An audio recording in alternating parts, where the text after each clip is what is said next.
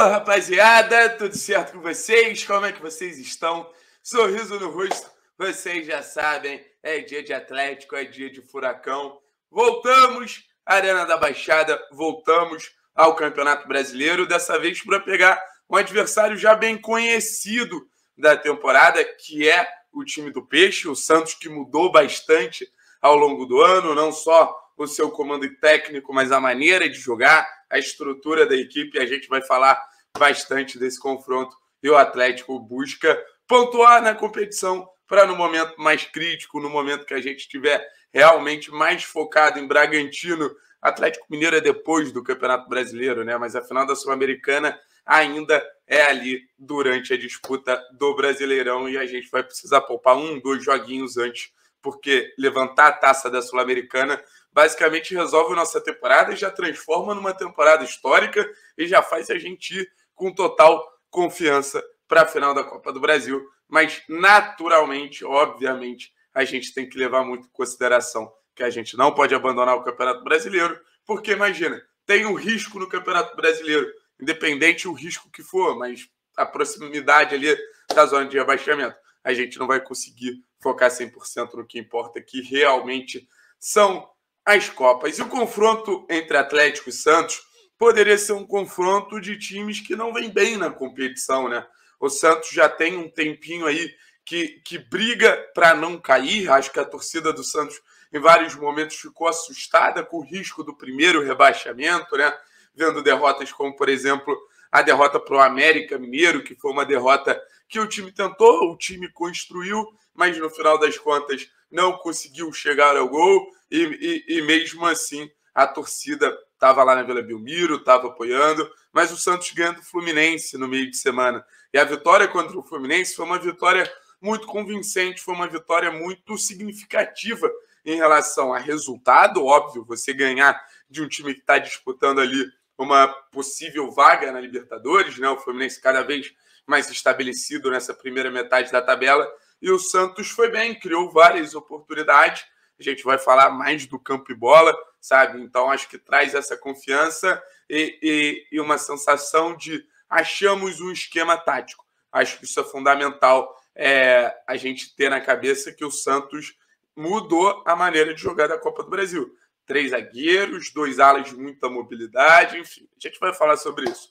Já o Atlético, minha gente, já o Atlético conseguiu a classificação, a tão sonhada classificação para a final da Copa do Brasil, goleou o Flamengo em pleno Maracanã. 3 a 0 pode ser considerado goleada, né? Um resultado que nem eu, que sou um dos mais otimistas, imaginaria. Uma atuação muito segura da defesa e certeira lá na frente. Mais uma grande apresentação, não só do time, mas grandes apresentações individuais. Acho que a melhor atuação do Santos na temporada, uma atuação muito boa do Thiago, uma atuação muito boa do Pedro, sabe? O Léo Cittadini assumindo essa vaga de titular depois da saída do Richard, que era uma saída assim que eu acho que ainda vai fazer alguma falta em questão de volume de elenco e necessidade de você ter jogadores confiáveis, e o Richard, apesar dos altos e baixos, era um jogador confiável, sabe? Mas o Atlético se comportou muito bem e, e volta as atenções para o Campeonato Brasileiro,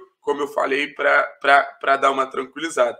Mas agora, indo para dentro de campo, né? O que a gente pode esperar desse jogo? Eu não sei se o Atlético vai com o time titular. Esse é o grande ponto da, da discussão pré-jogo, né? Se não for com o time titular, quais são os reservas que entram? Mas pegando uma base ali das informações que a gente tem, principalmente informações trazidas pela Monique Vilela. Nicão, Pedro Henrique, acho que o Santos não joga também, enfim. A gente deve ter os dois laterais, que já é algo que tranquiliza em vários pontos. Eu acho que os laterais do Atlético são uma engrenagem importantíssima da máquina, né? São dois laterais que atacam bem, então a gente vai ter muita força pelos lados, lados que o Santos também tenta explorar, e a gente vai conseguir também fazer a nossa linha de cinco para dar uma segurança maior ao Bento, que deve ser o substituto do Santos, né? Naturalmente, o substituto do Santos é o goleiro Bento. E, e na zaga, a entrada do Fasson, a entrada do Zé Ivaldo também são situações assim que, que eventualmente vão acontecer. Acho que o Zé até está merecendo é, jogar depois do, do, belo gol que ele faz contra o Flamengo. Acho que eleva o nível de confiança do jogador. O Zé Ivaldo tem que mostrar se amadureceu nesse jogo, tá? Porque a gente sempre fala aqui no canal. Pô, o Zé Ivaldo, quando a gente acha que vai, acaba dando uns passinhos para trás, não consegue jogar na empolgação em vários momentos na temporada, inclusive contra o Santos, né? Um jogo que o Zé Ivaldo marca um gol contra, acabou sendo por aí, mas vamos confiar no Zé, sabe? É, oportunidade do Fasson também, o Fasson foi um cara que não foi bem contra o Fortaleza. A gente tem que entender o quanto aquele pênalti contra o Flamengo ainda é, incomoda e ainda atrapalha a evolução do Lucas, que é um zagueiro de muito potencial. Gostaria de ver a manutenção do Nico. Faria uma zaga Zé, Fasson e Nico ali para ser uma zaga de boa saída de bola, uma zaga de boa altura, uma zaga para acompanhar a mobilidade do ataque do Santos. No meio-campo, chuta uma entrada do Christian, para ser bem sincero com vocês. Acho que o Christian entra bem contra o Flamengo e o Christian cada vez mais precisa pegar o ritmo desse, desse modelo tático do Atlético, né? É, é um modelo que faz uma diferencinha ali na, na atitude e na mobilidade e na concepção dos volantes. Volantes antes que eram mais construtores, eram jogadores capazes de reter, reter a bola com o Atlético no trabalho do Antônio Oliveira, agora são jogadores de condução de pressão, são jogadores de mais obrigações defensivas. E o Christian acho que ainda não entrou nessa rotação. Na frente, acredito que o Pedro Rocha tem grande chance de jogar. Um Pedro Rocha que em mais uma semifinal consegue ir muito bem, né? O Pedro, dois gols contra o Perol, uma assistência contra o Flamengo, está ficando marcado assim como o Nicão, como homem em semifinal, destaque alto. Eu gostaria de ver a permanência do Terancho no time. Acho que, que o Terancho está precisando de ritmo. Eu não sei se é de ritmo ou de descanso, mas gostaria de ver o Davi voltar àquele nível de atuação que a gente viu no começo da passagem. A temporada desgastante pode ser um fator também a ser levado em consideração, mas acho que uma atuação é, de nível elevado e o Santos é um time que permite muito espaço ali naquele meio campo, então no final das contas pode ser um cenário para a gente ver o Davi voltando a jogar muito bem. Gostaria de ver o Jader, pelo menos, numa minutagem maior e numa estrutura melhor. O Jader vem entrando sempre em cenários de time reserva, de time que está tomando porrada contra o Flamengo no Maracanã, Fortaleza no Castelão. Queria ver o Jader num cenário positivo ali, com o Atlético é, tendo uma chance na partida, né? Acho que aí é, é muito mais fácil você render, porque é aquela velha história. Botar o garoto não significa dar o garoto o contexto ideal para ele ter o seu melhor futebol, né? Então, no comando de ataque, Guilherme Bissoli deve substituir Renato Kaiser, ou até mesmo o Kaiser deve jogar. Acho que essa dupla está bem 50-50, né? Não tem nenhum que esteja se sobressaindo. O Bissoli é um atacante de mais apoio, o Kaiser é um atacante mais ruptura, mas no final das contas acho que é o momento do Kaiser. Falando um pouquinho do Santos, Carlos Sanches deve entrar no lugar do Zanocelo. A gente também tem outra mudança que eu confesso que eu esqueci. Alguém deve entrar no lugar do Marinho.